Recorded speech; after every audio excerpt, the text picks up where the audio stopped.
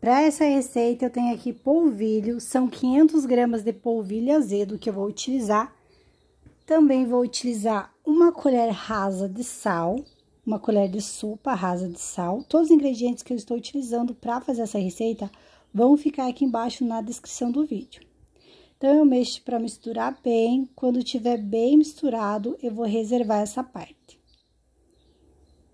Em uma leiteira ou uma panelinha, eu vou adicionar 125 ml de água, 125 ml de leite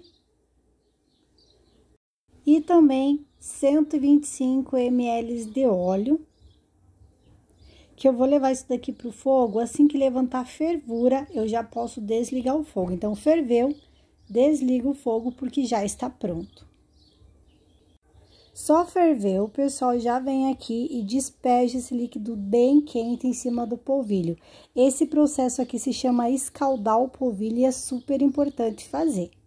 Vou mexer para misturar bem.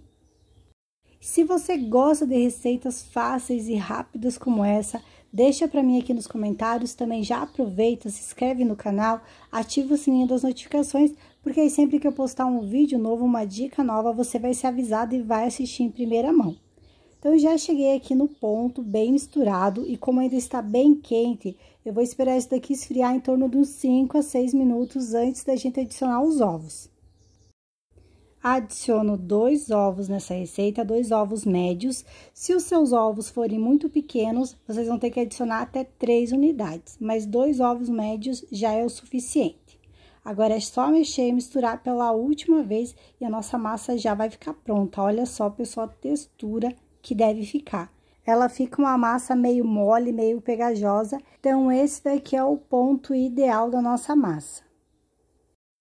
Com a ajuda de duas colheres, eu vou começar a pegar um pouco da minha massa, ó, desse jeito aqui, ó.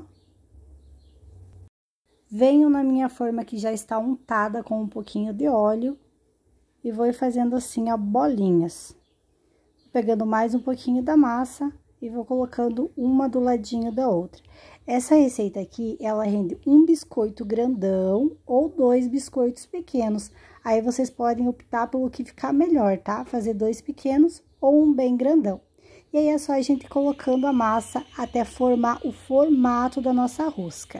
Eu optei por fazer uma bem grandona, como vocês estão vendo. Finalizei já posso levar para o forno pré-aquecido a 180 graus de 30 a 35 minutos e eu já volto para mostrar para vocês o resultado. Rosca de polvilho já pronto, já prepara um cafezinho, porque isso daqui vai super bem com um cafezinho. Como eu fiz uma rosca bem grandona, vai ser meio impossível retirar ela daqui inteira, sem quebrar, tá, pessoal? Então, por isso, eu vou cortar para mostrar para vocês como que fica a textura. Se vocês preferirem fazer duas menorzinhas, vai ser melhor ainda que vocês conseguem desenformar. Mas olha só isso daqui, que delícia que fica, como eu disse para vocês, com um cafezinho Fora que a receita é uma receita super fácil e simples de fazer. Se você chegou até aqui, já aproveita para deixar o seu like, se inscrever no canal eu espero todos vocês no próximo vídeo.